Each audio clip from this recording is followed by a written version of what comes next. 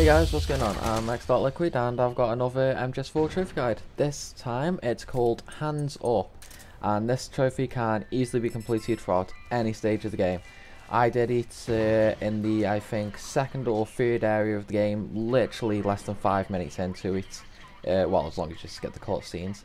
And in order to get it, all you have to do is sneak up behind an enemy, aim a weapon, and, well, when they are hold up, just go in front of them and press triangle, and every time a little exclamation mark comes up, hit triangle again, and you'll basically rob them. And that's the trophy, guys. I hope you enjoyed the video, and please subscribe for more trophy guides in the future.